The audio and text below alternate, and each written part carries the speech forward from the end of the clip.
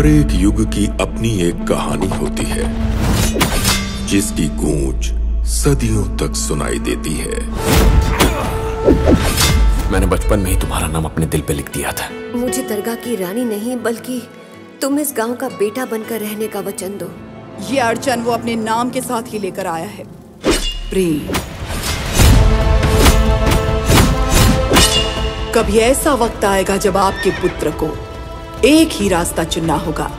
एक राजयोग दूसरा प्रेम योग।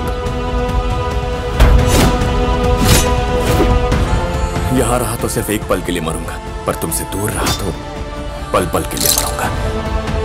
गीत बेटी हमारे गाँव की एकमात्र खुशी है।